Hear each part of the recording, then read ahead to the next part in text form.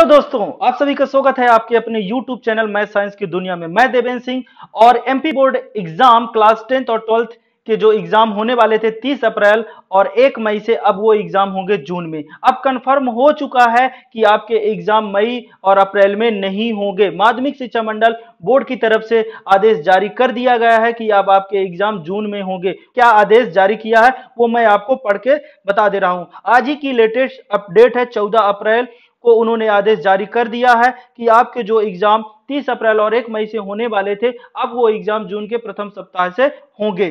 माध्यमिक शिक्षा मंडल द्वारा आयोजित हाई स्कूल एवं हायर सेकेंडरी या हायर सेकेंडरी व्यवसायिक डिप्लोमा इन स्कूल एजुकेशन शारीरिक प्रशिक्षण परीक्षाएँ जो दिनांक 30 अप्रैल और 1 मई से प्रारंभ होना नियत थी। मतलब पहले कंफर्म था 30 अप्रैल और 1 मई से टाइम टेबल भी जारी कर दिया गया एडमिट कार्ड भी आ गया लेकिन कोरोना जो वायरस है उसके संक्रमण बहुत तेज़ी से फैल रहा है, जिसके कारण से ये जो एग्ज़ाम है एमपी बोर्ड की जो परीक्षाएँ, क्लास टेंथ और ट्वेल्थ की परीक्षाएँ हैं, वो स्थगित कर दी गई हैं। राज्य में लोक स्वास्थ्य एवं लोक हित में नोवल कोरोना वायरस कोविड 19 के संक्रमण से बचाव हेतु एवं विद्यालय में एक स्थान पर विद्यार्थियों का समूह एकत्रित एवं उपस्थित होने के परिणाम स्वरूप उक्त संक्रमण के संभावित खतरे की रोकथाम करने के उद्देश्य से छात्र हित में वर्तमान परिस्थिति की गंभीरता को दृष्टिगत रखते हुए मंडल की दिनांक 30 अप्रैल और 1 मई से प्रारंभ होने वाली परीक्षाएँ, जितनी भी परीक्षाएँ थी, और भी उसके साथ में डिप्लोमा, व्यवसाय की परीक्षाएँ होती हैं,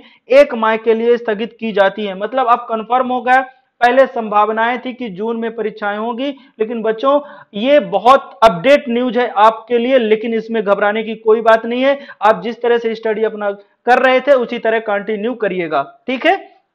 यह परीक्षाएँ अब माह जून के प्रथम सप्ताह से प्रारंभ की जाकर अंतिम सप्ताह तक संपन्न कराई जाएँगी।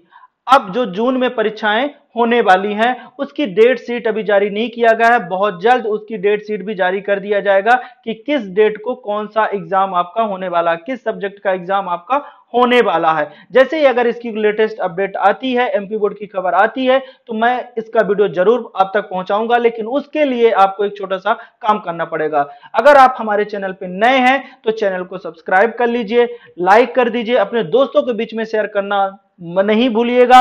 और अगर चाहते हैं कि लेटेस्ट अपडेट जो भी आता है तो हमारे तक पहुँचते रहे तो उसके लिए आप बेल नोटिफिकेशन की बटन को प्रेस कर लीजिए। मिलेंगे अगले वीडियो में।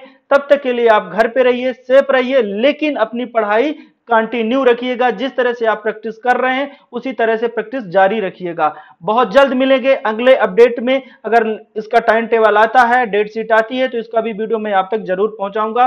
तब तक के लिए आप घर पे रहिए सेफ़ रहिए और पढ़ते रहिए। Bye bye